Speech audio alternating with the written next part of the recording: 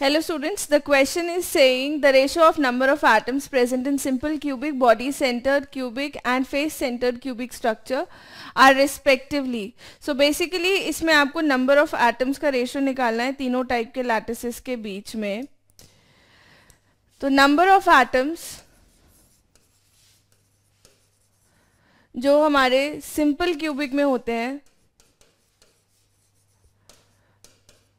That is one अब ये one कैसे आया है? क्योंकि आपके सारे जो एटम्स है those are on the edges and each atom is participating one by eight of its in the unit cell so you have eight atoms जो वन बाय एट पार्ट में पार्टिसिपेट करें that is why one atom पर simple cubic cell में होता है. Number of atoms in B C C is ये आपके आठों के आठ एजेस पे तो रहते हैं, उसके साथ में आपके पास एक सेंटर में एटम ऐड हो जाता है in the body centred cubic so therefore the number of atoms is two number of atoms